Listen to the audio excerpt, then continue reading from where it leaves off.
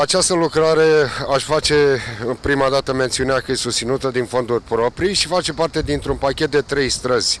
Aceasta se numește strada Pescarilor, Sat Vadu, mai avem o stradă de 400 de metri în Corbuș și mai avem încă o stradă în satul Luminița de 400 de metri, deci este un pachet de lucrări. N-au mai avut niciodată asfalt, au fost doar la stadiul de piatră, s-a refăcut patul de fundare, s-a excavat 40-50 de centimetri, piatră mare, piatră de împănare, totul conform tehnologiei. Lucrăm de două luni de zile, întrucât, vă spuneam, au fost excavate cantități mari de piatră și de pământ.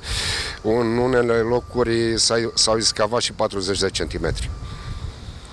O ajută vremea, nu? Uh, sperăm să ne ajute, uh, tocmai asta este motivul pentru care ne grăbim și noi, însă s-a pierdut ceva timp datorită faptului că această stradă e cea mai lungă, are aproximativ 1400 de metri lungime și vă dați seama cu o decopertă de 50 de centimetri în unele locuri cât s-a muncit aici. Celelalte sunt de 400-450 de metri, sunt, uh, sunt mai mici. Costă mult trei străzi făcute de la zero? Această stradă, la momentul ăsta, este licitată cu 13.000 de roni. Uh, uh, celelalte, dacă nu mă înșel, se duc la încă vreo 5 miliarde.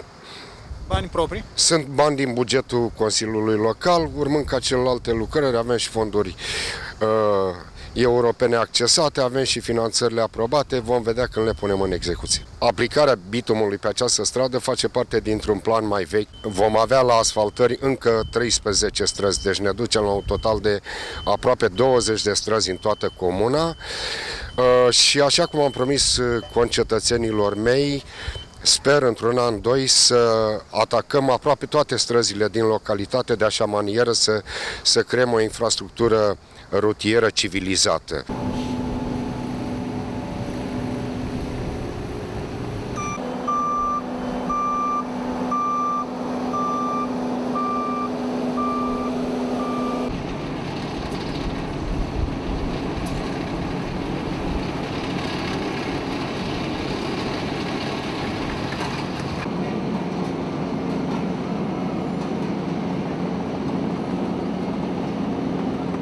Lucrăm uh, pe continuu, am lucrat și aseară până la ora 8 fără un sfert. Uh, stăm după stația de betoane, de asfalt. Acesta trebuie să ajungă la o temperatură de 120 de grade, trebuie să fie fierbinte și ei o încălzesc pe o oră jumătate înainte, practic ei încep la 6 dimineața, astăzi la 8 au sosit camioanele deja, vor să se oprească la ora 17 din livrare. După două ore de la punerea în operă se poate trece, se poate reda traficului.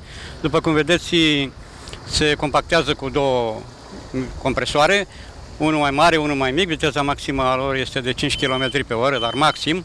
Vedeți că este udat în continuu ca să nu se lipească de tambur.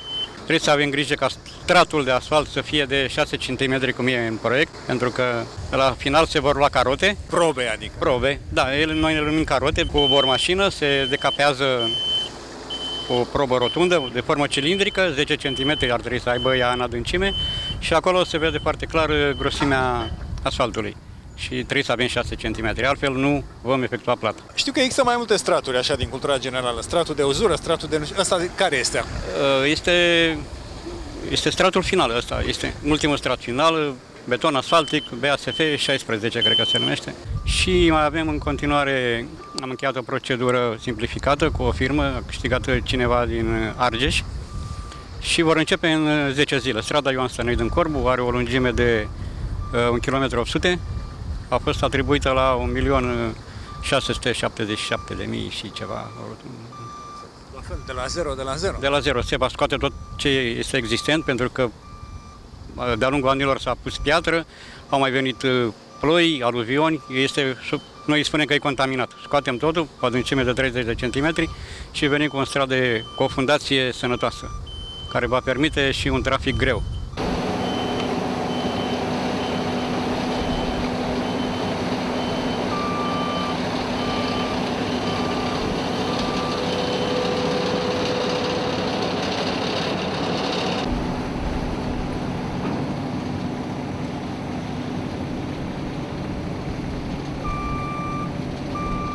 A fost aici nămol de intra tractorul, de te ascundeai, făceau șanțuri.